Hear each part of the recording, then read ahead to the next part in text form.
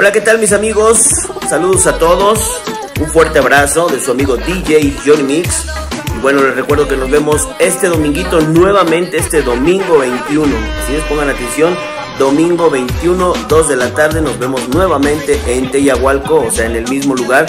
Los que nos acompañaron la semana pasada allá este, en el municipio de Tultepec, en Teyahualco, igual va a ser en ese mismo jardín, con alberca.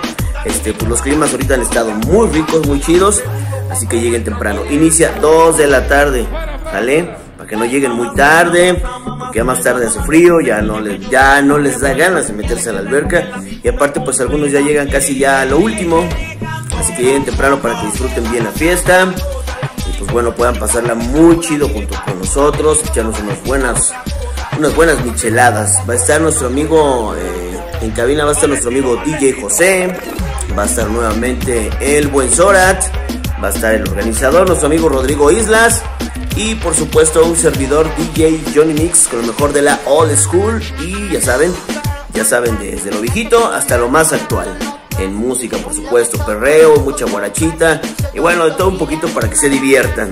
¿Sale? Así que les recuerdo para que no se confundan. Nos vemos este domingo 21, 2 de la tarde en Teyahualco. Nuevamente nos vemos en Bichota. Así es. Más información, ya saben, métanse ahí al Facebook y compartan este video para que pues un poco de más gente pueda acompañarnos en esa fiesta. Les recuerdo, no se trata de multitudes, ahorita por la situación que estamos pasando de la pandemia, pero bueno, ya tenemos permiso, tenemos autorización de hacer algo relajado y pues bueno, vamos a vamos a empezar con algunas fiestecitas así, relax para pues empezar como quien dice a calentar motores para cuando ya esté el semáforo en verde, ahora sí va con todo.